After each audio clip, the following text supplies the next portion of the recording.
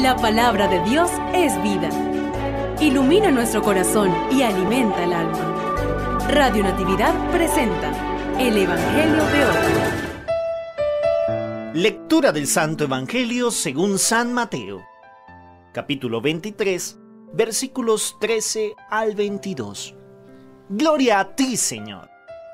En aquel tiempo, Jesús dijo a los escribas y fariseos, Hay de ustedes, escribas y fariseos hipócritas, porque les cierran a los hombres el reino de los cielos.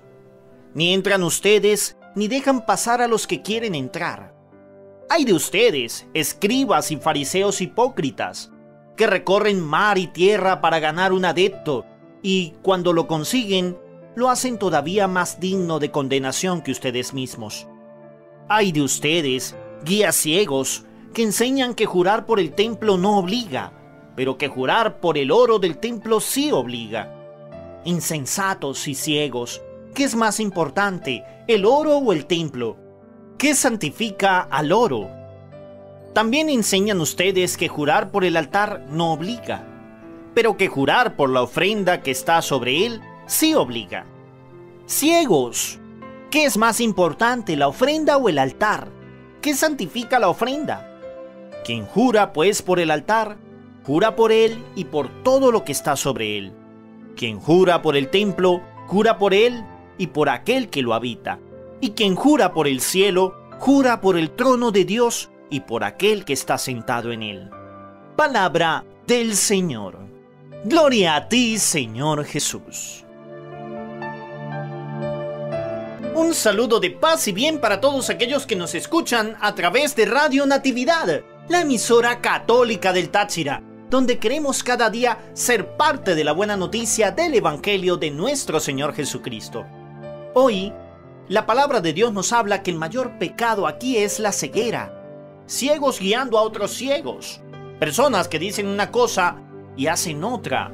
Nos habla de ser sinceros, la sindéresis, la coherencia de vida cristiana.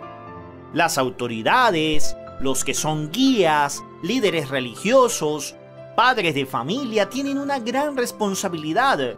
Guiar a los suyos hacia el reino de Dios, hacia la salvación. Para Jesucristo, en la religión, en el culto, todo debe estar al servicio de la vida.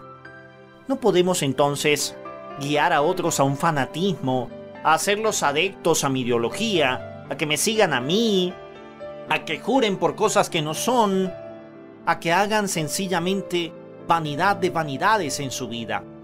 Jesús quiere que dejemos toda esa ceguera y que comencemos desde ya a recapacitar y hacer las cosas bien. Por eso el Señor utiliza esa expresión, ay, ay de ustedes, guías ciegos que enseñan, que enseñan mal o que enseñan pero no cumplen. Eso nos dice hoy Jesús a ti y a mí, a todos nosotros. Que dejemos de ser guías ciegos y necios, que dejemos de mal conducir al pueblo, que comencemos desde ya a guiarlos a la salvación, que los acerquemos verdaderamente a la fe, la fe que nos lleva a amarnos los unos a los otros. La fe que nos lleva a mostrarnos orgullosos de la iglesia de Dios. La fe que nos lleva a cumplir la tarea, a ser buenos, a dar todavía más por la salvación de todos. Hoy, cuando muchos dicen una cosa y hacen otra, hace falta más cristianos verdaderos que realmente demos testimonio del Evangelio de Cristo. Que seamos capaces demostrarle a los demás que están siendo guiados por otros ciegos, especialmente todos aquellos que pertenecen a tantas ramas del cristianismo que se separaron de la Iglesia Católica por esos ciegos, que hoy día han hecho a otros aún más ciegos que ellos. Señor Jesús, ayúdanos hoy para que los católicos seamos buenos y verdaderos guías para todos aquellos que necesitan acercarse más a ti.